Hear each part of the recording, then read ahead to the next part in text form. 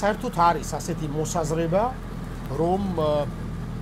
საქართველოსში მიზესთა გამო არც ტრანსპორტში, არც თქვა ავტობუსში,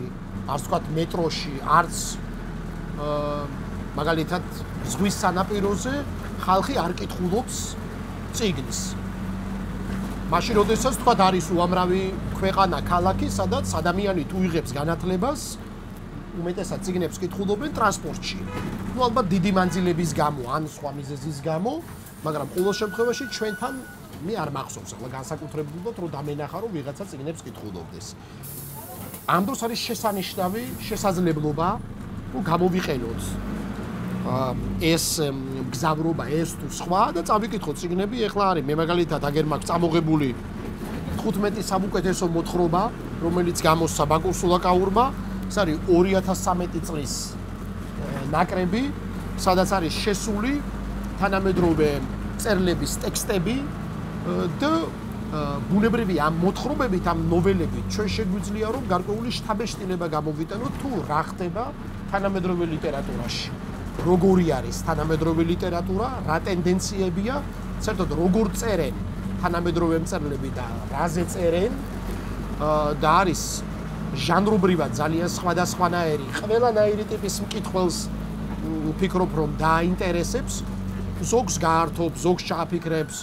ზოგს შეიძლება გააღიზიანოს კიდეც, არ ვიცი, არ ამგონია, მაგრამ ნუ თემები არის ძალიან მრავალფეროვანი, რაც შეეხება თვითონ თავისთავად არის სტილისტიკა ძალიან სხვადასხვანაირი ამ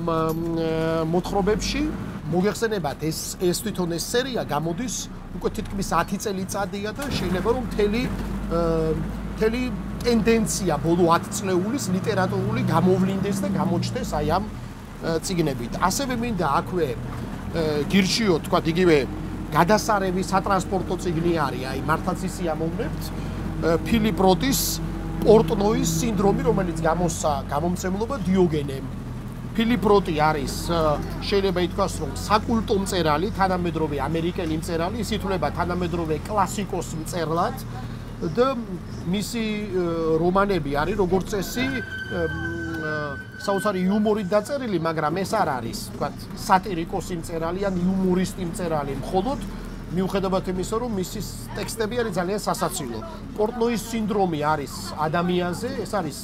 ამერიკულ ებრაულ ოჯახზე და უცხო საზოგადოებაში ინტეგრაციის ტრაგიკომიკულ შემთხვევებზე, როდესაც ახალგაზრდა ადამიანი, ახალგაზრდა ებრაელი ბიჭი როგორ ინტეგრირდება თუ ვერ ინტეგრირდება თქო ამერიკულ სოციუმში, საზოგადოებაში. და ამ ამ ასე ვთქვათ კოლიზიებზია ეს ამბავი თვითონ ძალიან სასაცილო ფორმა აქვს, სასაცილო და საინტერესო თვითონ ეს პერსონაჟი პორტნოი თელამ ამბავს ყვება ფსიქოლოგთან სეანსის დროს. ის ფსიქოლოგთან არის მისული და თავის თავგადასავალს ყვება თავის ცხოვრებას, თავის დამოკიდებულებას ოჯახის მიმართ თვითონ შემდეგ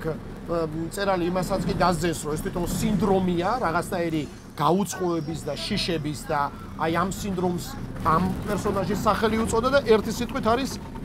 გადასარების საკითხავი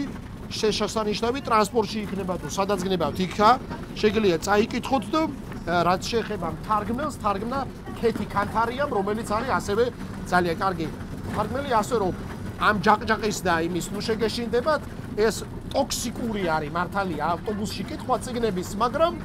ადამიანი თავს შეიკავებს, თუ კი კითხვა უყვარს, ყველაფრისთვის მზად უნდა იყოს, ასე რომ გირჩევ ამ შეშანიშნავ ციგნებსაც.